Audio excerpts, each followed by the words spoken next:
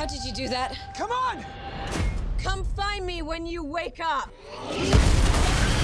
Admit it, at one point, we all wanted to play the same day on a loop, to fix past mistakes or to go all out crazy. But the reality of loops and endless cycles is that there's a purpose behind them. Which movies did it best? Welcome to Cnext. Today, we're ranking the top 10 best time loop movies of all time. Get your popcorn ready, set, and let's go. Stop! There's a bomb in the cake. Don't worry, I used to be a bomb guy. Number 10, Before I Fall, 2017.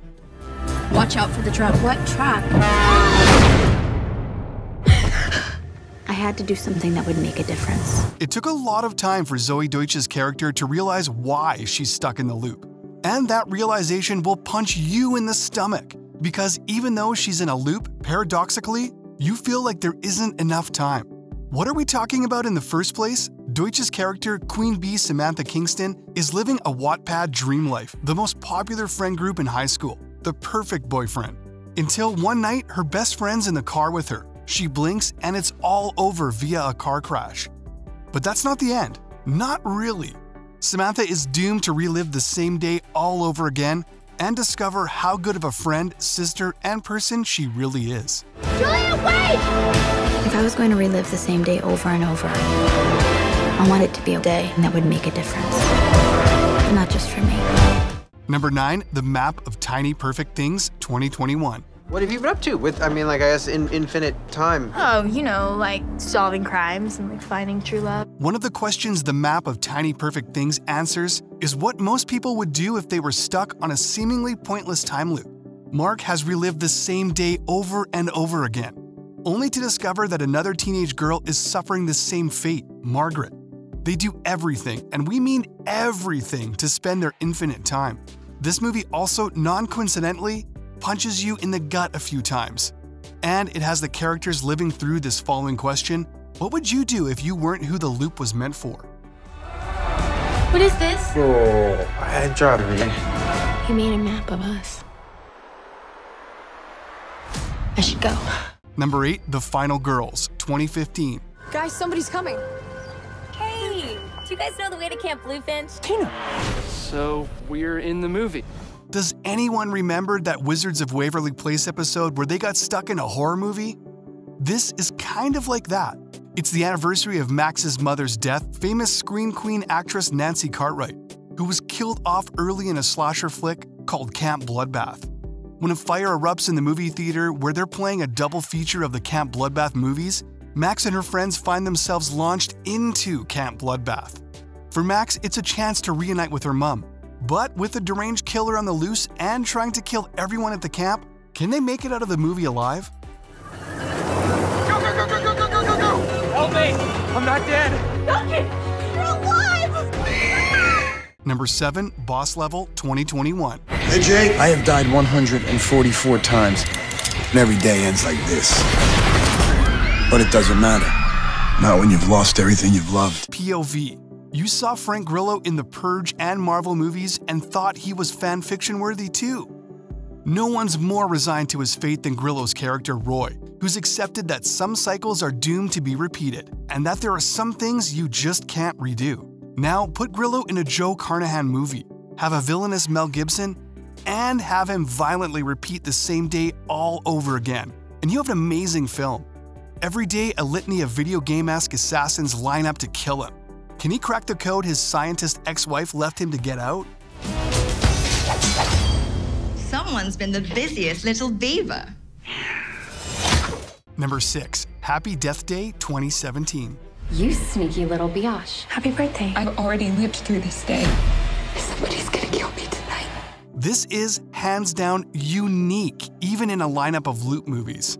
Tree Gelbman, played by the underrated Jessica Rothe, wakes up in a strange guy's dorm room and has to come to terms with the very alarming fact that someone in a creepy mask is trying to kill her. Save for Tom Cruise, Tree might have actually been killed the most times.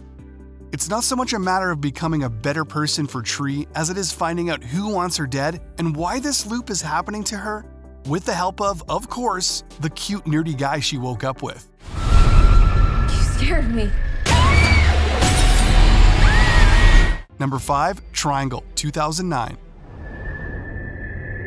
You know what I do when I have a bad dream? I close my eyes. Triangle is one of the eeriest loop movies of all time.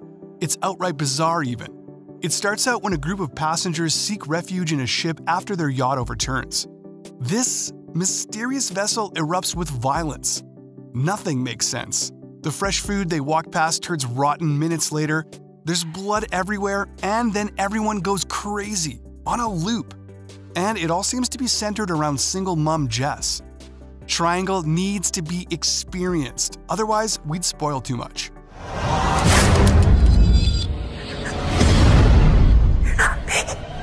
Number 4, Source Code 2011. Welcome back, Captain Stevens. Where am I? You are inside the source code. What is the source code? It's a computer program, Captain.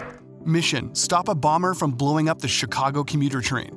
Protagonist Jake Gyllenhaal as Army pilot Stevens, in the body of a mysterious man.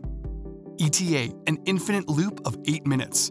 Besides him is Christina, played by Michelle Monaghan. Can Stevens see through the cobwebs of reliving the same 8 minutes enough to detangle this sci fi mystery? Source Code has been hailed as one of the greatest not just for being thought provoking, but for the angle it took. What angle will that be? No spoilers. What would you do if you knew you had less than 8 minutes to live? I'd make those seconds count. Number 3, Palm Springs 2020. Stop! There's a bomb in the cake. Don't worry, I used to be a bomb guy. Stand back! Oh my god! It's the wedding of your nightmares, doomed to repeat the same small talk and awkward encounters. With the groom you might have fooled around with, but there is one guest that stood out to Sarah. Anyone who's watched How I Met Your Mother flipped out when they heard about Kristen Milioti starring in a movie alongside Andy Samberg. This is a dual loop. Andy's character Niles is the one who's stuck in a loop. When Sarah comes along and gets herself stuck too, they have to relive her sister's wedding, figure out how to stop this, fall in love, and evade the crazy other loop guy trying to kill them.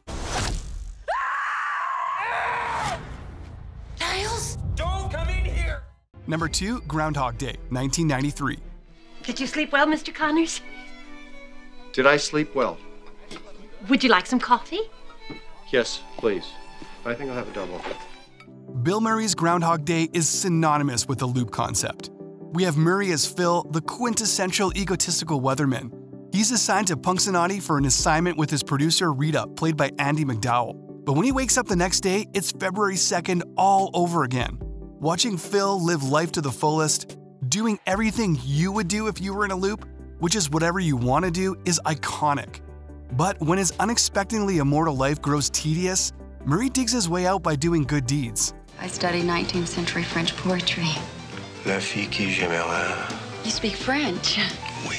Before we reveal our first pick, let's look at some honorable mentions and don't forget to subscribe and hit the bell icon. ARQ 2016. You don't have to believe me, but I need you to trust me. Hannah! They shot you. Happy Death Day to You 2019. Oh my god. Everything's different. This time, it's coming after all of us. Timecrimes 2007.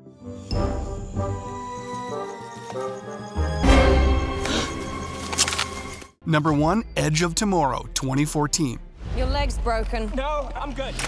Then we better start over. Oh, come on. Before you heard about Edge of Tomorrow, you might have already seen the iconic clip of Emily Blunt, mid push up, pushing herself up to see Tom Cruise as he stumbles inside a training facility. This might be the only time Cruise isn't the skyscraper jumping baddie we're used to, but he does have some tricks up his sleeve. It's a loop, but this time it's against aliens. A deserter finds himself bathed with the blood of the eerily intelligent alien species, currently annihilating our world and reliving the same battle. And every day, he relays the information he got with Rita, aka Blunt, so they can conquer the alien invasion. I'm not a soldier. Of course you're not. You're a weapon. And those are the top 10 best loop movies of all time. What did you think? Did we miss one of your favorites? Let us know in the comments below. Don't forget to like, subscribe, and hit that notification bell below to be notified of new content.